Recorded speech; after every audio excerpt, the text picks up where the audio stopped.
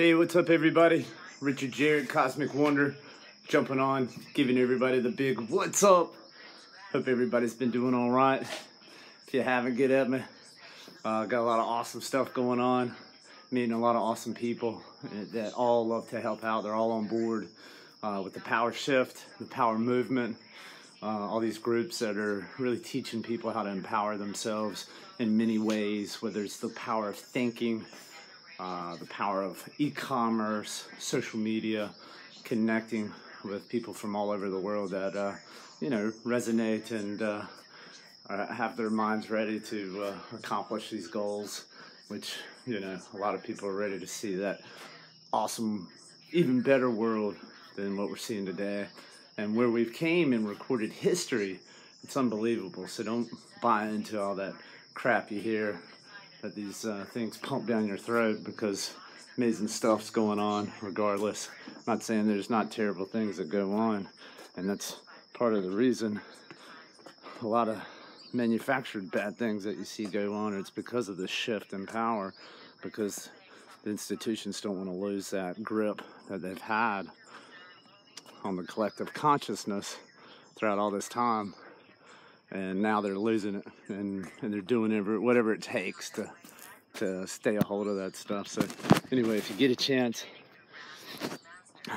jump on go to youtube or kindle and look up my main man alvin boyd kuhn.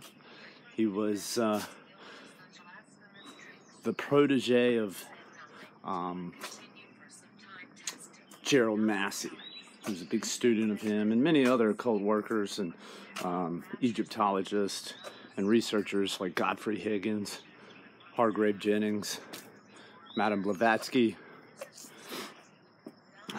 Paracelsus, Van Helmont, just many of them. You can go on and on and on.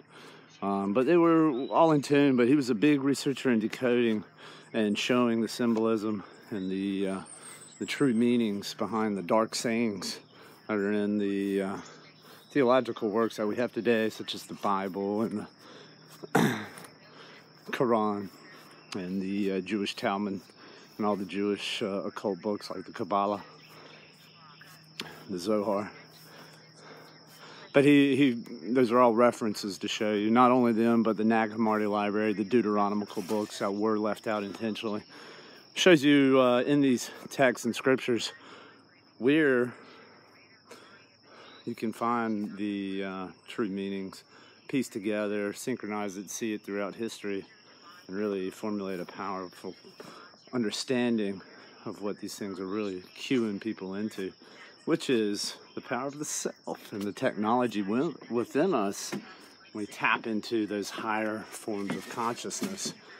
And uh, when that happens, you're seeing a lot of it occur today not only with individuals accomplishing unbelievable goals, but individuals really bringing knowledge and helping communities, towns, villages, um, all over the world. So praises to the Most Due, praises to the Most High for allowing uh, all the cool stuff that's going on.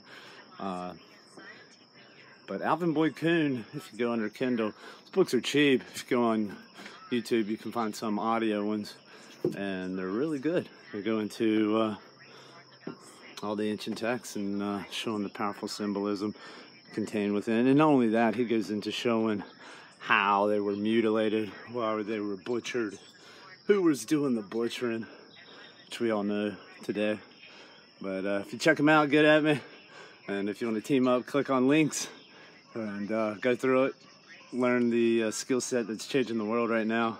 You can work from anywhere in the world team up with awesome people and uh, help others uh, accomplish these these visions uh, that were decimated by the old paradigm system of uh, you know the old schooling and uh, getting a job for somebody else and you know being told what to do the rest of your life until you retire and then by then you're too old to enjoy life and decrepit by all the things that they've been doing to us.